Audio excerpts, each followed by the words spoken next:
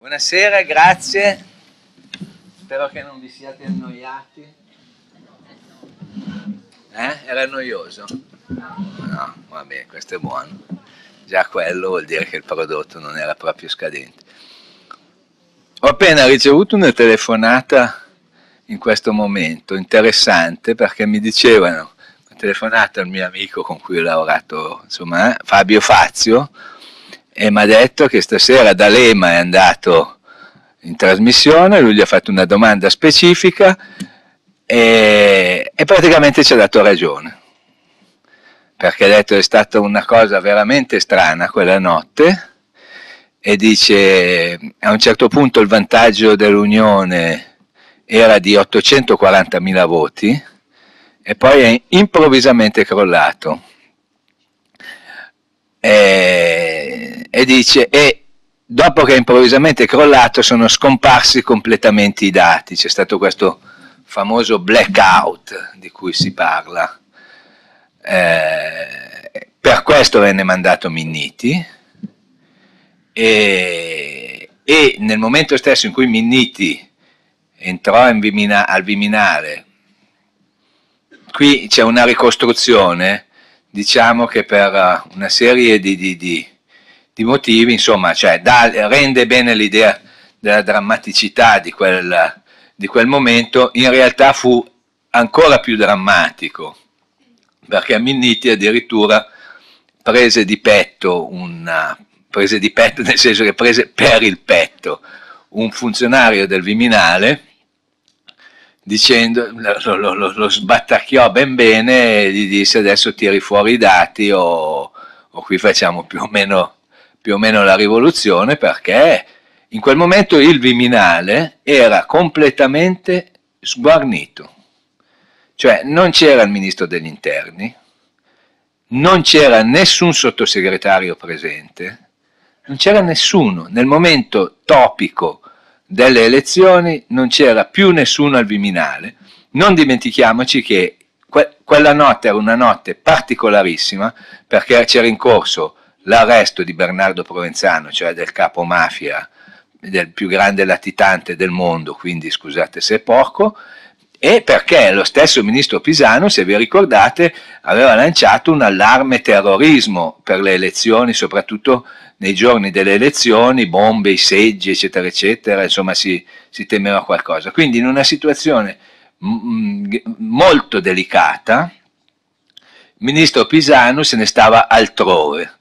Noi abbiamo fatto questa ricostruzione, che è una ricostruzione fedele, riprodotta su questa ricostruzione fatta eh, da Elio De Capitani, è una ricostruzione fedelissima eh, fatta sulle testimonianze di persone che hanno assistito a quel dialogo, ma prima di questo dialogo teso, che avvenne dopo, dopo la proclamazione dei voti da parte di, di Fassino, prima pare, leggendo il libro che ha scritto Bruno Vespa, che eh, si respirasse un clima molto idilliaco eh, alla, a Palazzo Grazioli, cioè a casa di Silvio Berlusconi, de, eh, nel comitato elettorale di Forza Italia, un clima molto idilliaco, tanto che Pisano si era fatto portare dal cuoco Michele un gelato, un bel gran gelato, e si era seduto davanti alla televisione aspettando che i cronisti dessero il risultato della vittoria della Casa delle Libertà. Questa è la storia recente d'Italia ed è uno dei, dei, grandi misteri che si va a aggiungere ormai a, a, un treno di misteri. Qui purtroppo siamo a Bologna dove una città martire, diciamo in questo senso, toccata da, da, da, dalla strage dell'80 su cui insomma non c'è ancora una risposta. E di questi buchi neri nella memoria d'Italia degli ultimi anni eh, ce ne sono troppi ormai. E con Enrico De Aglio siamo anche arrivati alla, alla convinzione che tutta questa merce poi, tutti questi buchi neri, questa mercanzia sporca serva alla fine come elemento di pressione, di ricatto, eccetera, eccetera.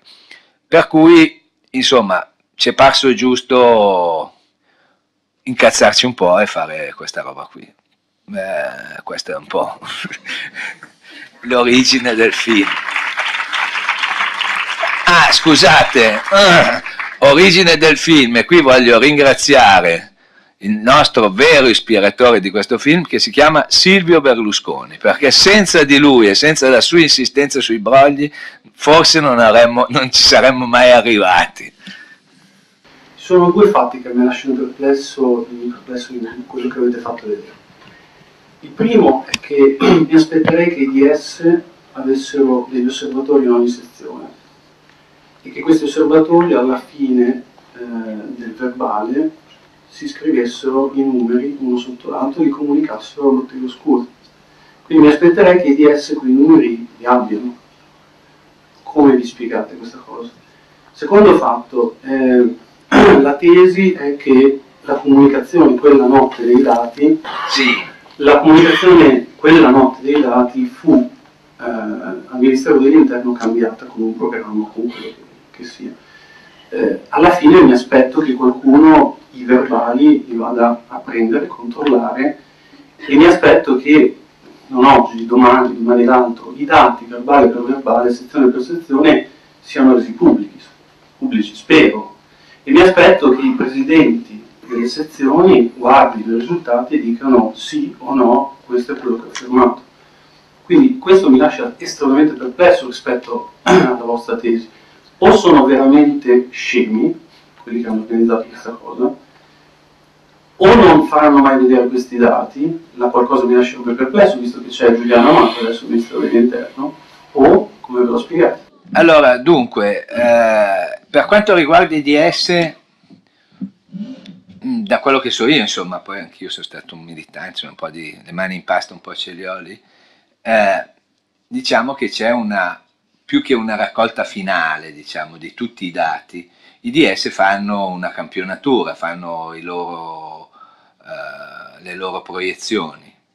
E là in fondo c'è un giornalista di Modena che stava alla sezione, che è quello che parla qui, e, e proprio la, la, la, la, diciamo, la scintilla che ha dato il via a questa mh, paura di brogli quella notte, impressione che, che, che ci fosse qualcosa, è proprio partita dai DS perché i dati che a loro arrivavano non coincidevano per nulla con i dati del Viminale.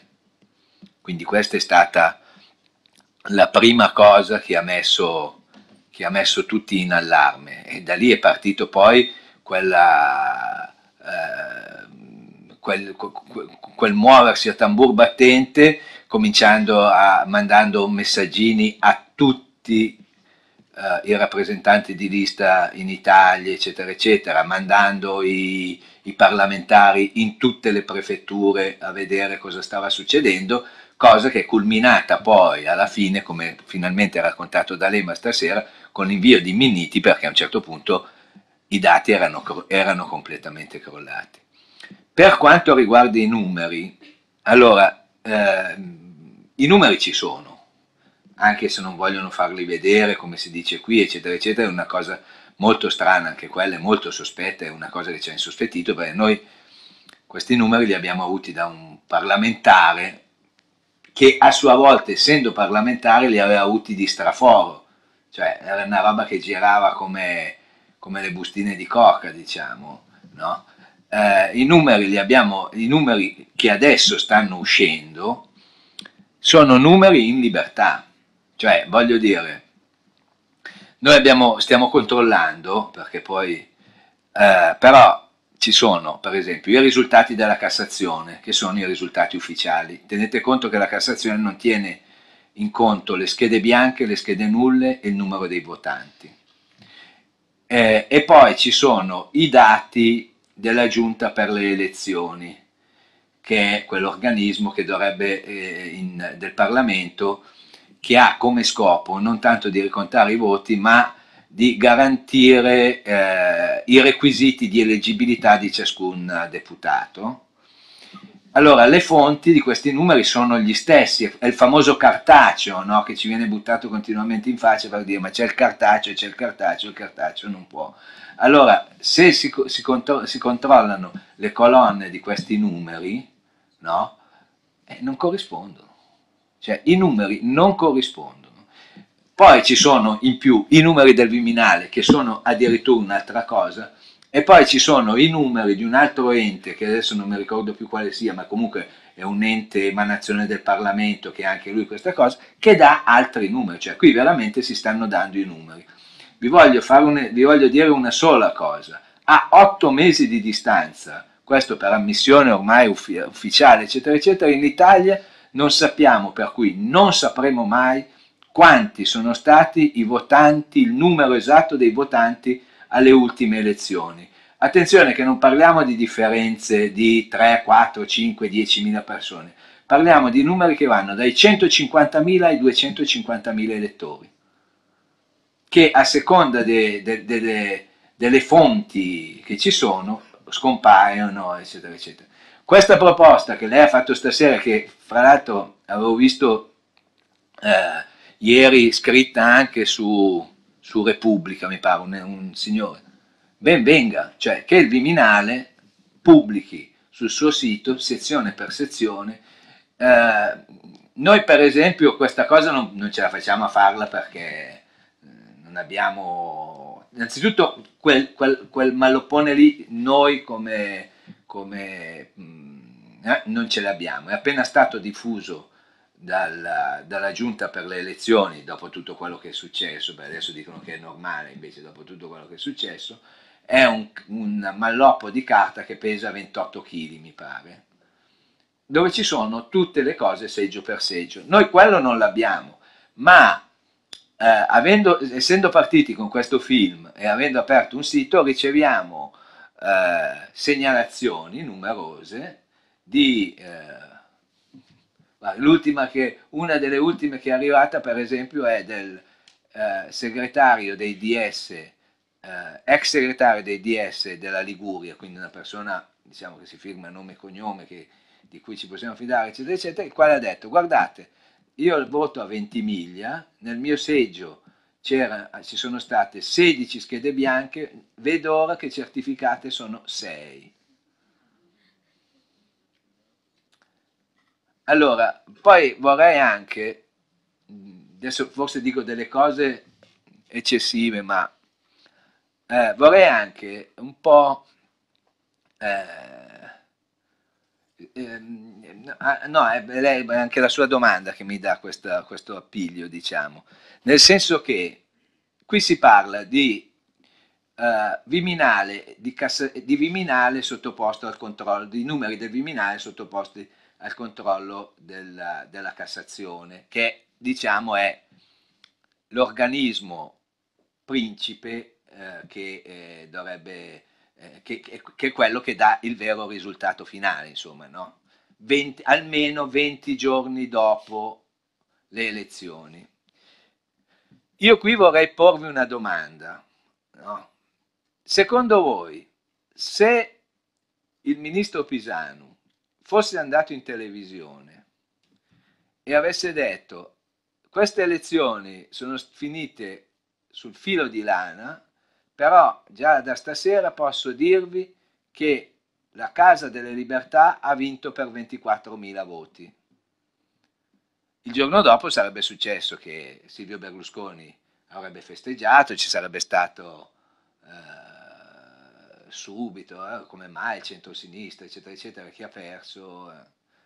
Voi pensate, io una domanda che in coscienza mi faccio, voi pensate che 20 giorni dopo la Cassazione avrebbe rivisto il risultato, anche se er-, erano 24.000 voti in più per il centro-sinistra. Sapendo quello che avrebbe, avrebbe potuto succedere. Voi vi potete immaginare cosa sarebbe oggi l'Italia se a un risultato dato dal Viminale eh, avesse corrisposto un risultato dato dalla Cassazione che ribaltava la, la, il primo annuncio. Non so, mm, non, non penso a scenari da, da, guerra civile, ma insomma a, a una tensione. E comunque, di sicuro avrebbero dovuto trovare qualcosa, bloccare tutto, finire tutto, eh, mettere tutto a tacere. Insomma, voglio dire, mh, mm, alla fin fine, e mi pare che tutto quello che sta venendo fuori, appunto, tra questo balletto di numeri, fra le testimonianze che riceviamo, tantissime, tantissime di um, autorevoli scienziati, poi se guardate per esempio questa settimana ci sono ah, già alcuni articoli, eccetera, eccetera, no, che stanno lavorando su questa materia, perché lì, insomma, voglio dire, e, e tutti ci dicono, innanzitutto che è impossibile tutto questo. La cosa su cui lavorano moltissimo è addirittura il grafico di come sono stati dati i risultati quella notte.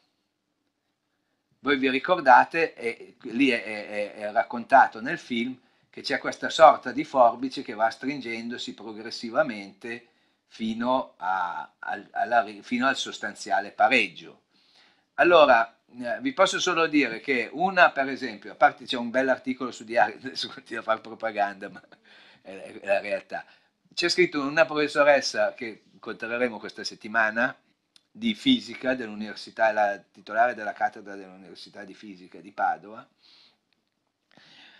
la quale ci ha detto che la prova dell'assurdo, del, dell'impossibile quello, e che usa quel calcolo, quell'esempio per spiegare insomma, l'impossibile, l'assurdità in, uh, ai suoi studenti in, uh, alle lezioni di fisica.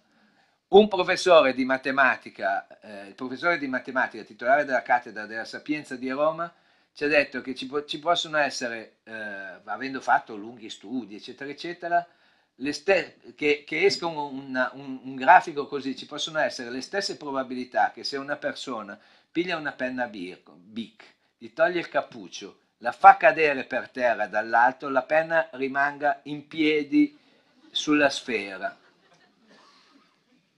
E, e queste sono cose, eh, sono cose che perché? Perché quello che ti spiegano è che dopo un certo numero di voti, no? Non ci può più essere rimonta. Eh, quando diciamo si estraggono un, un adesso io non sono un esperto, non so se qui quando si se tu hai un'urna chiusa con delle palline rosse e blu dentro, quando ne hai estratti un certo numero, già ti sei fatto, già puoi sapere un numero consistente, già puoi sapere quante ce ne saranno dentro fino alla fine, perché è una cosa che in quel momento ormai è finita, è statica. La rimonta c'è solo, come spiega uh, questo tizio, c'è solo, per esempio, in una gara di biciclette, che è qualcosa in divenire, ma le elezioni sono qualcosa di assolutamente finito e quindi stati, statisticamente quel grafico e matematicamente quel grafico è impossibile. Allora, tutte le cose devono, cioè, voglio dire, devono spiegarcele, devono dircele. Io penso che sia importantissimo. Adesso poi magari ne riparliamo, intanto se avete delle domande da fare. Qual è la motivazione per cui voi siete eh, rimandati in giudizio? Non so, dalla, la motivazione. Sì. E dopodiché ho sentito, poi può darsi che mi sbagli, no? però almeno dalle informazioni che io ho leggendo il giornale, e penso di essere aggiornato, che in Italia le, nomi, cioè la, la, le nomine del vincitore è su base cartacea, per cui non tengono conto del eh, vostro lavoro. Certo. Se tutto quello che viene detto nel film Inchiesta è vero. Beh, adesso calma. Sì. quello che io non capisco è che il centro-sinistra e il DS avrebbero eh, dei grossi vantaggi ad andare a verificare se no. ci sono stati dei brogli, no? Perché ci sarebbero dei grossi vantaggi. Come d'altra parte invece Berlusconi non avrebbe vantaggi ad andare a verificare questo. Allora non capisco, da una parte c'è un Berlusconi che chiede di contare, di verificare, di contare le schede e dall'altra parte c'è un centro-sinistra IDS che io almeno non sento fare nulla. Allora non capisco che cosa, perché. Dunque, una era la, la questione su base cartacea, no? Ma è, penso di aver risposto prima. Allora, su base cartacea, in Italia le elezioni sono su base cartacea, no? Però a un certo punto i risultati vengono trasmessi eh, in maniera elettronica, incominciano a viaggiare nel cyberspazio, perché quando dalle prefetture va, vanno verso il Viminale, io mi fermo sempre a quel concetto.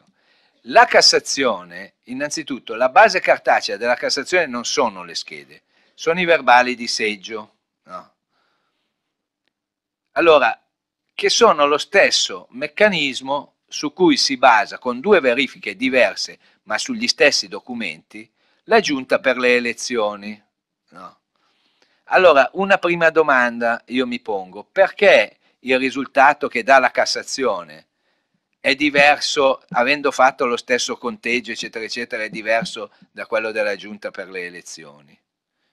Cioè, probabilmente qualche verbale non è chiaro, qualche verbale sarà andato perduto, qualche verbale sarà stato, sono 60.000 verbali che viaggiano a destra manca per tutta l'Italia, non so adesso chi è stato al seggio poi lo sa come è fatto, insomma è, è un librettino di carta, cioè è, è, qualcosa, è qualcosa che si può deteriorare, si può perdere, eccetera, eccetera. Ma comunque, ammettiamo che non se ne sia perso uno, non se ne sia deteriorato uno, che tutto funzioni per il meglio, come mai ci sono questi calcoli che non collimano, perché eh, se è cartaceo, è cartaceo per uno e cartaceo per l'altro, dovrebbero collimare. E invece non solo non collimano, ma non collimano, anche qui parliamo sempre di qualche decina di migliaia di voti.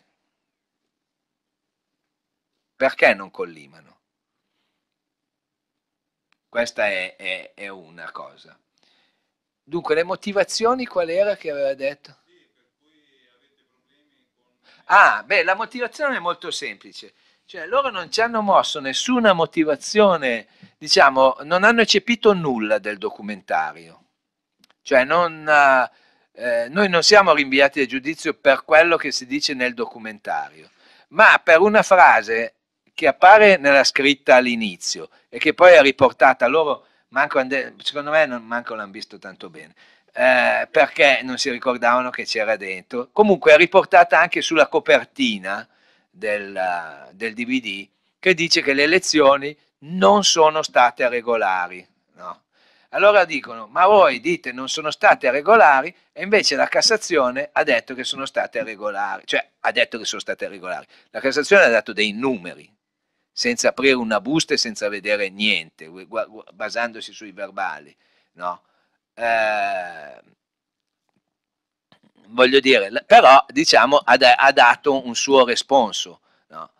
E, e, allora loro dicono, qui insomma la parola della Cassazione è parola di re e voi in realtà non avevano assolutamente nulla, cioè non, con noi non potevano eccepire nulla perché è tutto, è tutta una vicenda molto strana, nel senso che se loro avessero riscontrato questa eh, irregolarità, visto che il, il DVD l'avevano sequestrato, eh, cioè se l'avevano fatti dare prima, l'avevano visto, l'avevano letto, eccetera, eccetera, non avrebbero dovuto convocarci come testimoni, avrebbero dovuto già convocarci come imputati. E già questa non è una bella cosa. E vi spiego perché. Perché se lei viene convocato come testimone e sa già che io sono, sarò imputato, eh, io passo un'ora davanti al giudice in cui devo, sono obbligato a rispondere tutto e a dire la verità, se no finisco in galera. No. Mm, questa mi è venuta in mente adesso, ma è buona da dire all'avvocato. E, mentre invece, no, è perché è così, cioè se loro già avevano visto che c'erano degli estremi di reato, apri un fascicolo dicendo... Uh, eh, rinviati a giudizio, cioè rinviati a giudizio, indagati per diffusione di voci false, tendenziose a turbare l'ordine pubblico, eccetera, eccetera. E così non è stato. D'altra parte hanno aperto un fascicolo di indagine, pre, un preliminare, eccetera, eccetera. Il primo atto istruttorio che hanno fatto è stato sentire me ed è aglio, no? Noi arriviamo lì, portiamo nuove prove della nostra cosa, che sono in parte quelle pubblicate sul diario di questa settimana, cioè ci sono delle cose che non stanno né in cielo né in terra, no? E la risposta è, vabbè, tanto vi rinvia, tanto eh, siete indagati. Allora, io gliel'ho detto, gli ho detto, ma eh, scusi, è come se io oggi uscissi, cioè mi rubassero il portafogli, andassi in questura a denunciare e questore mi, mi, mi, senza fare nessuna indagine mi accusa di falso e mi indaga per falso. Cioè, eh, non lo so, una cosa, una cosa che non sta né in cielo né in terra. La seconda cosa gli ho detto, ma scusi, ma perché invece di, di cioè dico, io, a me, per me va benissimo, se la pensa così, eh, posso. Dico, ma come mai non indagate anche Silvio Berlusconi? Quello mi ha guardato e mi fa, eh, Berlusconi.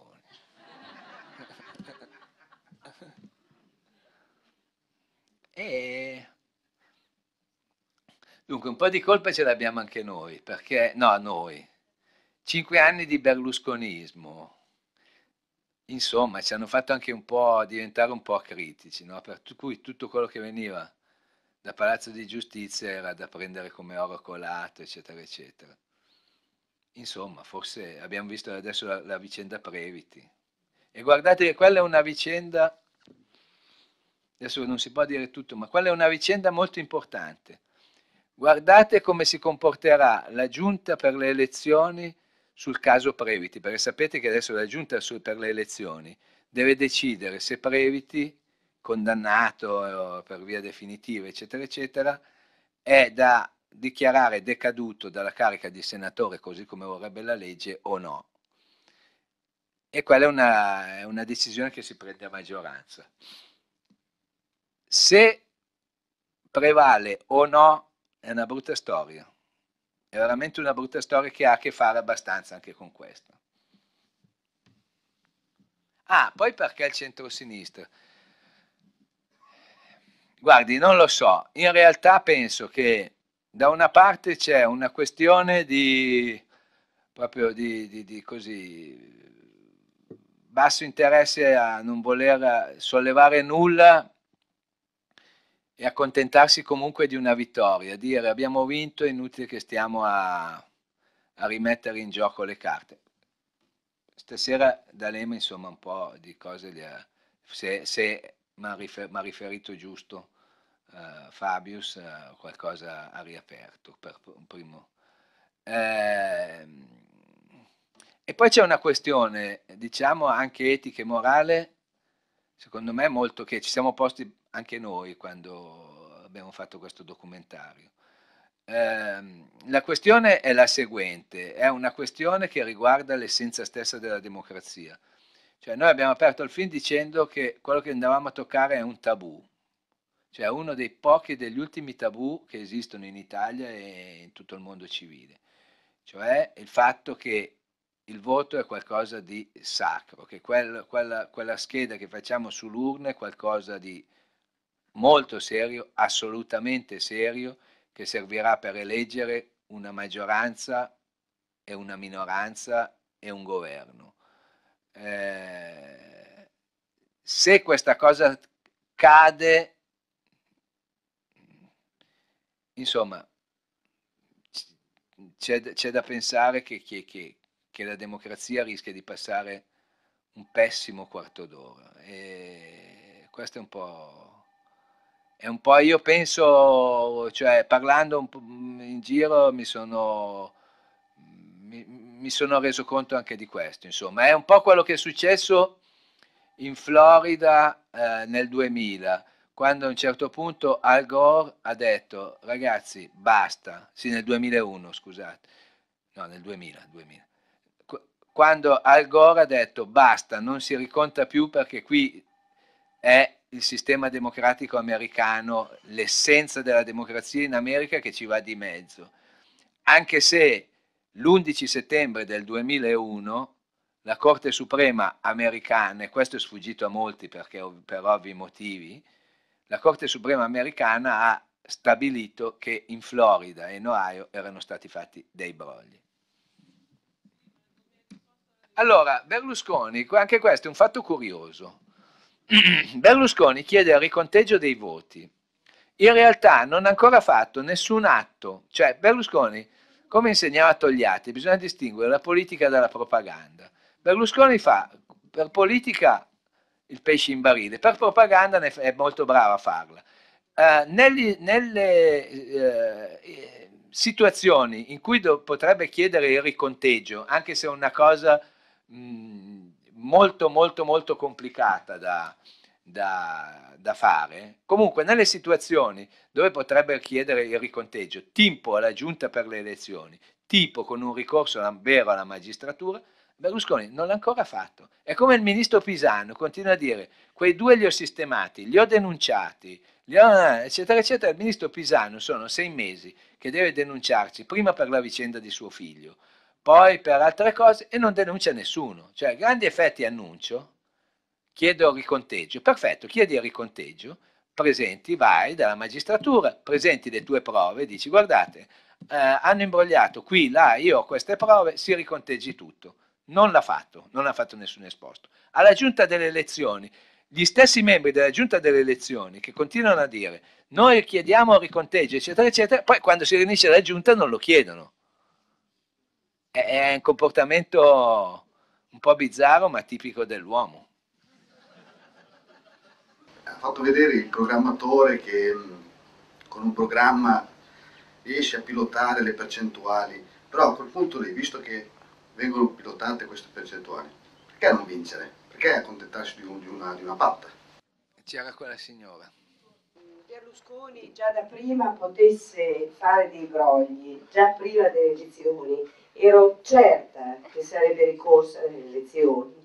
La sinistra, secondo lei, ci poteva pensare e poteva in qualche modo prevenire o con più attenzione o comunque insomma, organizzandosi meglio o proprio è rimasta così sorpresa ad elezioni già in atto? Dunque, perché accontentarsi? Ma insomma, mi sembra che il film lo spieghi bene. No, lo spieghi bene. Se, se l'avesse spiegato bene, l'avreste... Eh, lo spiega, no? Alla fine, nel monologo di De Capitani, a un certo punto dice, quando parla dell'antropologia democristiana, dice, vede Berlusconi. Allora, eh, tutto si riassume in quelle due ore di fuoco che ci sono state e molto si riassume nella faccia di Piero Fassino. No? Cioè, eh, faccia di Fassino eh, racconta non una vittoria drammatica, racconta un dramma, punto e basta. La faccia di Tardelli, che, eh, l'urlo di Tardelli, che pure gli deformava la faccia in una maschera grottesca, eccetera, eccetera, però era una maschera di tensione, eccetera, eccetera, ma anche piena di felicità.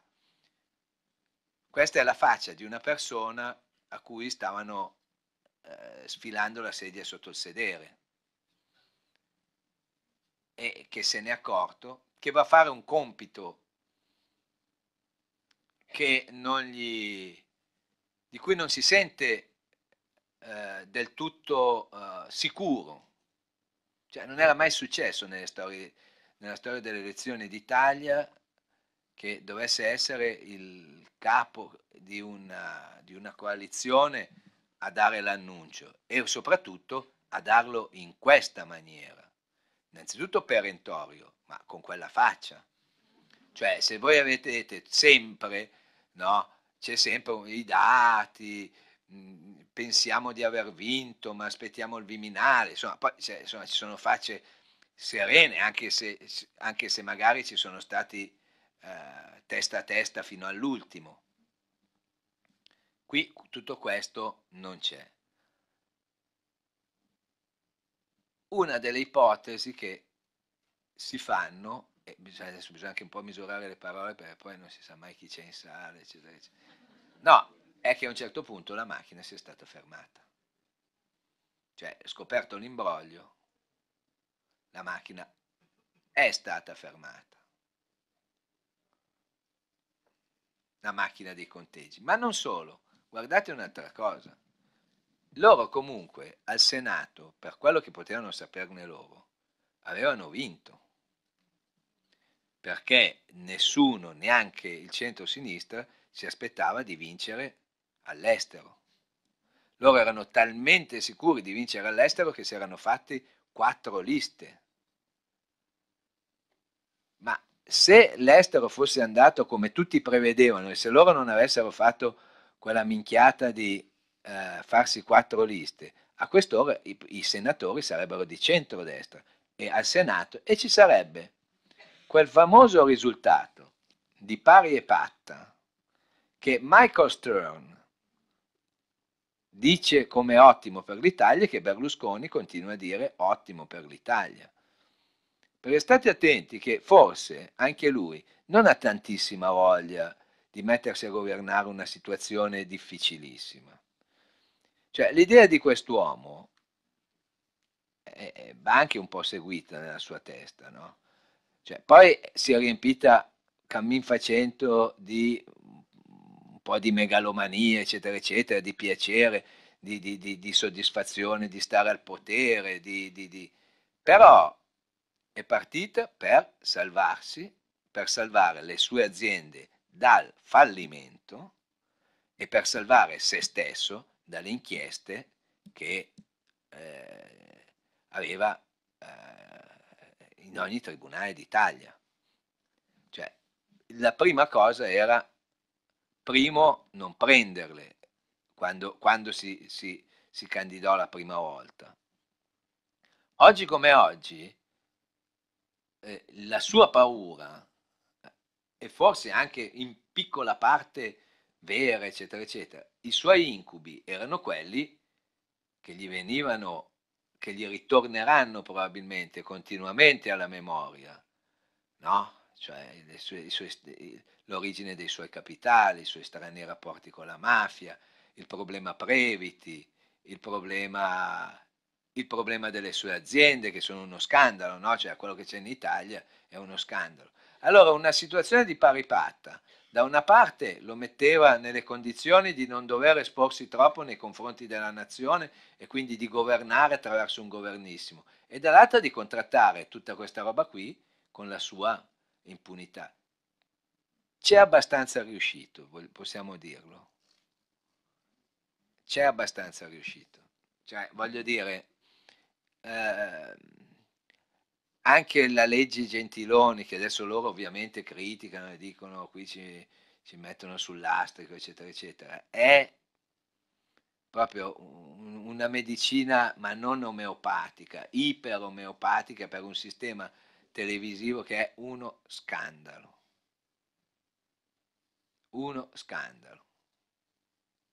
Questo documentario ci è stato chiesto dalle televisioni di mezzo mondo, dalla BBC, da CNN, eccetera, eccetera.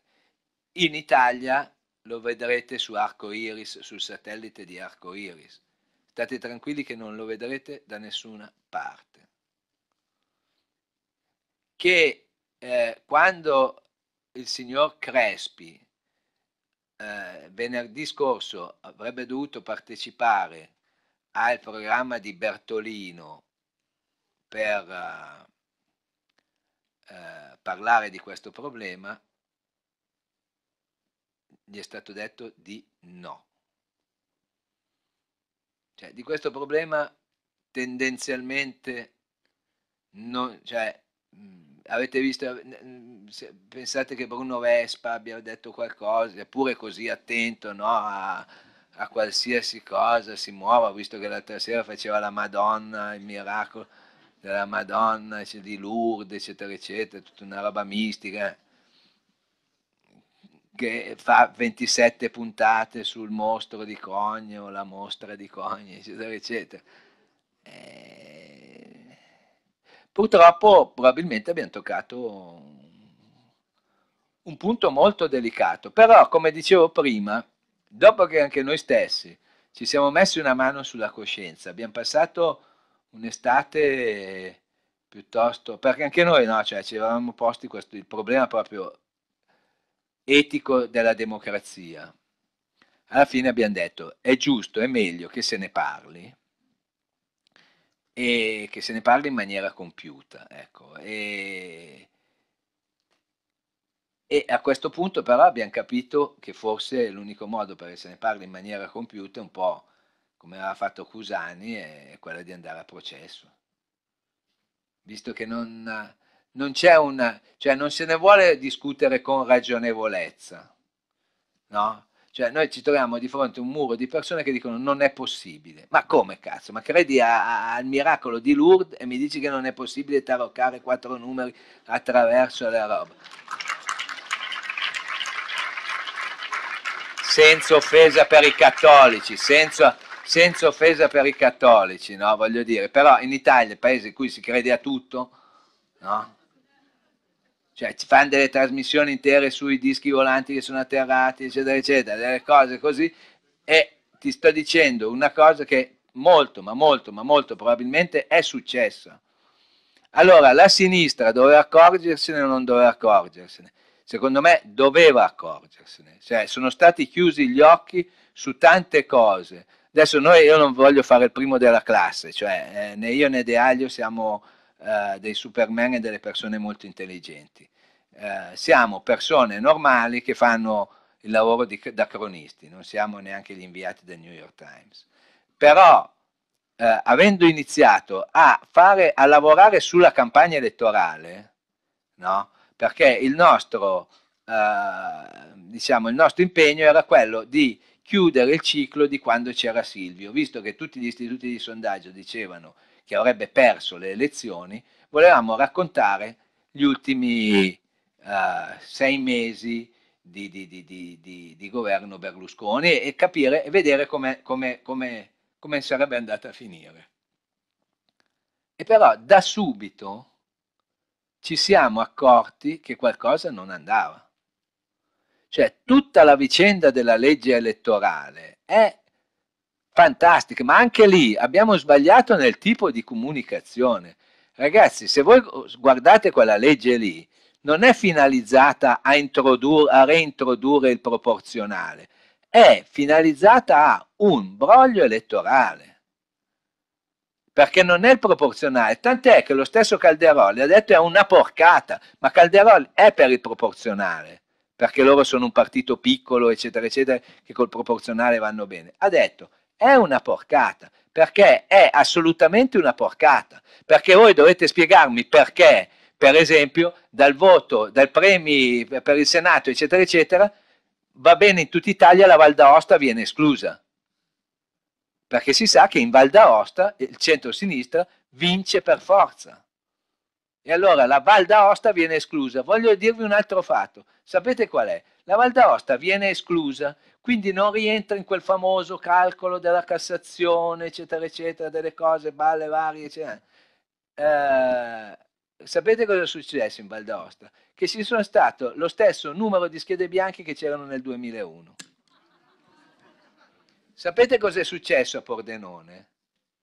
Che si è votato la stessa domenica per le amministrative e per, uh, e, e per, le politiche. Andate a vedere i risultati del, del uh, voto a Pordenone. Le schede bianche che non ci sono alle politiche ritornano alle amministrative.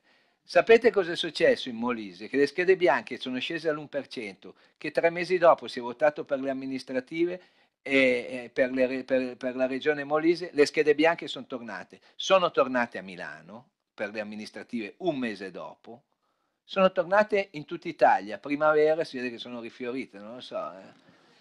Cioè, adesso proprio farsi prendere per il culo mi sembra eccessivo. Non voglio avere ragione a tutti i costi, ma almeno ditemi, vabbè, forse un po' di ragione ce l'hai, visto che è una roba così delicata, siamo un po' seri e andiamo a vedere. Questo è molto semplicemente.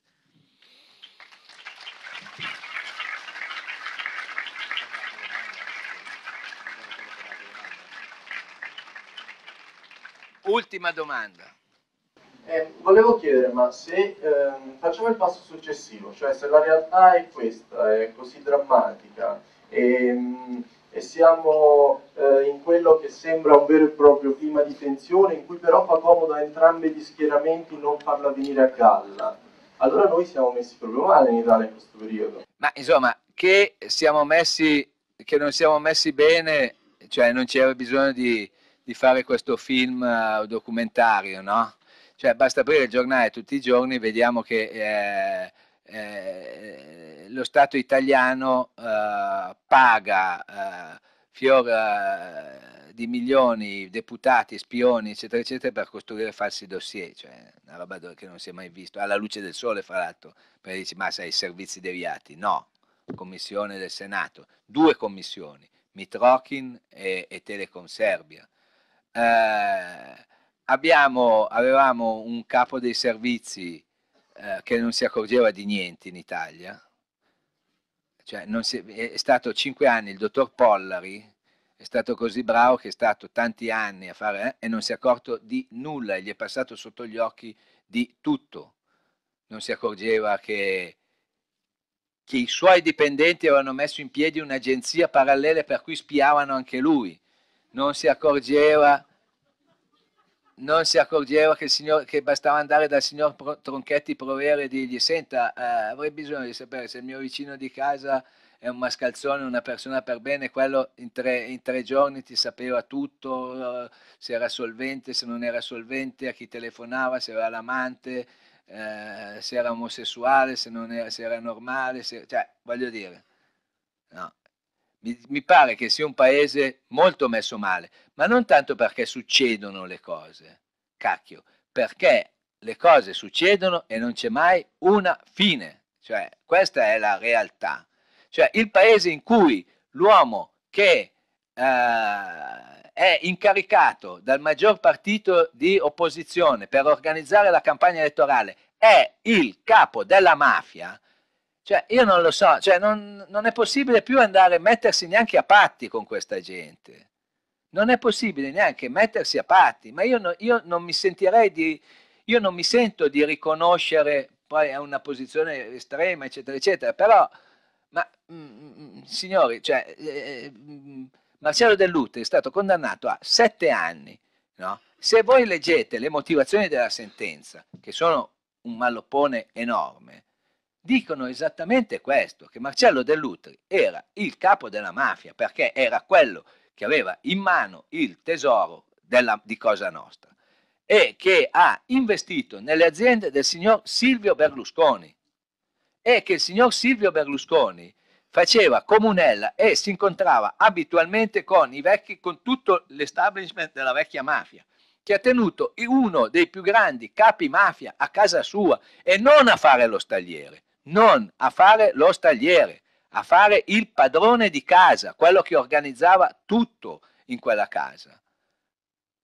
Cioè, voglio dire, no, se non siamo messi male quando si dicono queste cose e, voglio dire, tutti fanno orecchie da mercante su cose di questo genere. Cioè, il signor Silvio Berlusconi ha come avvocato il signor ha avuto per anni come avvocato il signor Previti che aveva messo in piedi una centrale di corruzione pari a quella di Tronchetti Provera per, per, per, la Telecom, di corruzione dei giudici, dove una persona che aveva bisogno di corrompere i giudici andava dal signor Previti che non ha mai discusso una causa in tribunale. Il signor Previti non ha mai discusso una causa in tribunale, non ha mai versato un assegno in vita sua cioè è uno dei più grossi uffici di Roma e non ha mai versato un assegno in vita sua, tutti i proventi dell'ufficio Previti erano in contanti. Cioè, voglio dire, ma eh, dove, in che mondo viviamo? E il Parlamento è lì a discutere adesso se eh, deve restare senatore oppure forse, eccetera, eccetera. E la Cassazione me lo manda fuori. Ma è una vergogna. Cioè, scusate, eh, è una roba che non sta in cielo né in terra. Questa è un po' l'Italia, brutta, una brutta cosa.